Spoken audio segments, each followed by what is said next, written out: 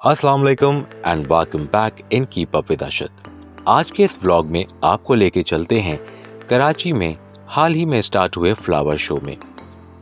I know you all must be curious to know कि exactly ये flower show कहाँ हो रहा है, क्योंकि अमूमन कराची के अंदर इस तरह के फ्लावर शोज़ बहुत कम ही मुनद हुआ करते हैं और जब होते हैं तो ज़्यादातर लोगों को इनके बारे में पता नहीं चल पाता। तो जनाब, ये फ्लावर शो हो रहा है कराची के इलाके फेडरल बी एरिया के ब्लॉक नंबर 16 में रिजवान पार्क के अंदर। अब आपको कुछ डिटेल्स बताता हूँ इस फ्लावर शो के हवाले से। ये फ्लावर शो स्पेसिफिकली गुले दाऊदी, जिसको इंग्लिश में क्रिसेंथेमम के नाम से जाना जाता है, उसी को फीचर कर रहा है। यहाँ पे गुले दाऊदी की कई इकसाम मौजूद हैं। थोड़ी सी मैंने रिसर्च करी तो पता चला कि इस फ्लावर की बीस हज़ार से ज़्यादा इकसाम है। यहाँ पर भी एक ही कलर के अंदर इतने वेरिएंट्स थे कि शायद आपको ये जज करना मुश्किल हो जाए कि ये लेवेंडर है या मरून ऑरेंज है या येलो बीस हज़ार से ज़्यादा इकसाम का मतलब ये है कि फ्लावर सिर्फ़ कलर में ही नहीं बल्कि दिखने में भी एक दूसरे से थोड़े मुख्तलिफ़ ज़रूर दिखाई देंगे। हिस्ट्री बताती है कि फिफ्टीन सेंचुरी में चाइना के अंदर इसकी कल्टीवेशन स्टार्ट की गई थी। इसीलिए गुलेदाउदी ईस्ट एशिया साउथ एशिया और ईस्टर्न यूरोप में पाया जाता है। और विंटर सीज़न में ये फ्लावर अपने पीक पे होता है।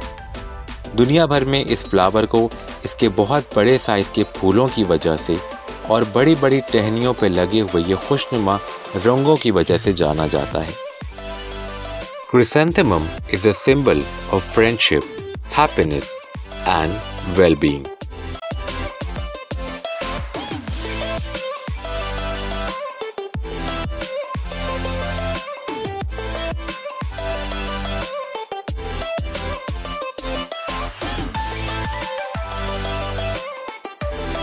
अब अगर थोड़ी बहुत बात कर लें इस एग्जीबिशन की तो मैं ये कहूँगा कि I will give nine out of ten क्योंकि जिस खूबसूरती के साथ इन फ्लावर्स को अरेंज किया हुआ था, जिस तरह के पैटर्न्स बनाए गए थे और जिस तरह कलर्स को एमेलगमेट किया था it was truly a beautiful sight इस फ्लावर शो को फ़लस्तीन के शोदा को डेडिकेट किया गया है और यहाँ पे फ़लस्तीन का झंडा भी बना हुआ है, मगर बहुत सारे लोग मेरी तरह ये सवाल करते हैं कि क्या इससे कोई फ़र्क पड़ता है?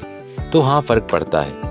वो फ़र्क ये है कि अपनी हर खुशी और गम के मौके पे हमारे वो मुसलमान भाई जो इस वक्त बेहद तकलीफ़ और अजियत से गुज़र रहे हैं, उनको भी हम याद रखें। इस डेडिकेशन से उनकी कोई मदद तो नहीं होगी, मगर याद दहानी कराने से हम अगर भूल गए हों तो हम किसी भी मद में, किसी भी तरह अगर उनकी कोई मदद कर सकें या सबसे बढ़कर दुआ कर सकें तो इससे अच्छी क्या बात होगी?